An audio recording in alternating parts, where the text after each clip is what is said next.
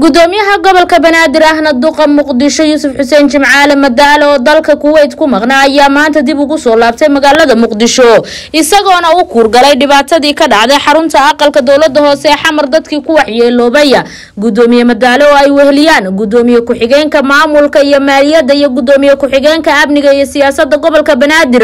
ayaa ugu horeyn waxa ay booqdeen isbitaalka ordogan exdigfer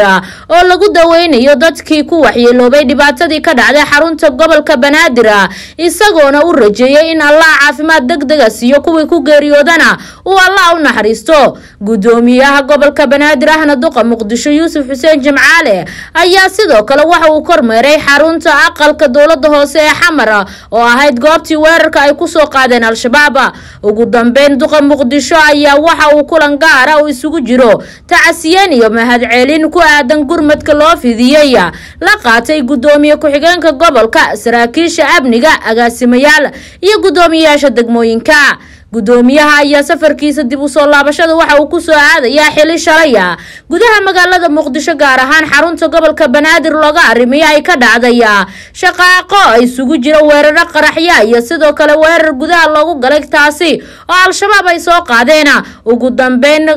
bismillaah alxamdulilaah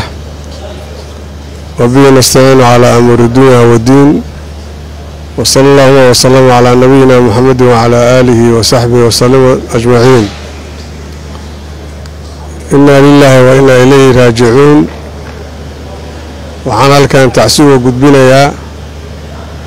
intii ku geeriyootay shalay oo ku shahiiday halkan ama shaqaale ahay ama dad shacaba ahaa oo runtii tiradooda ama askari ahaa oo tiradooda runtii alxamdulilaahi aada iyo aaday u yar tahay.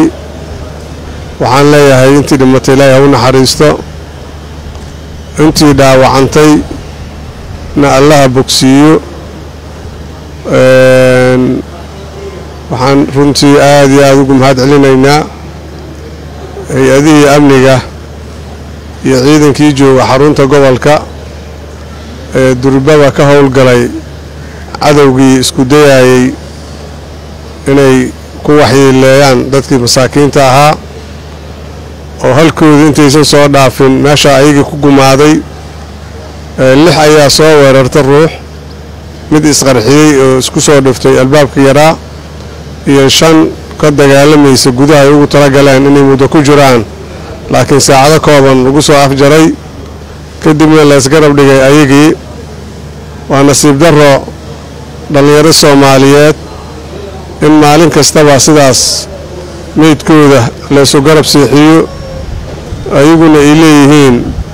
gaaraan la dagaalamaynaa waxaa waaye waa fikir qaldan cidda murtadka ay sheegayaan waa cidma yaa murtad ah yaan ahayn kalama garanayaan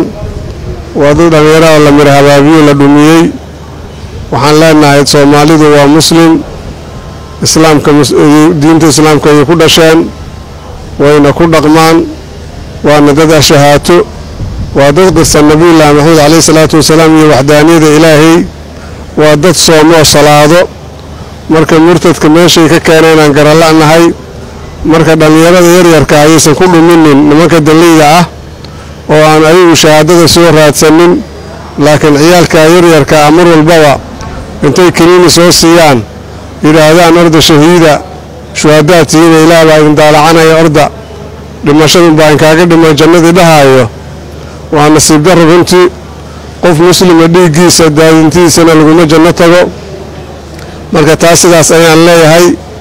Ugu dambeyn shalay fiidkii ayaa ciidamada amniga waxa ay soo afjareen howlgalkaasi maryan cali nuur maarisa c b a t v muqdisho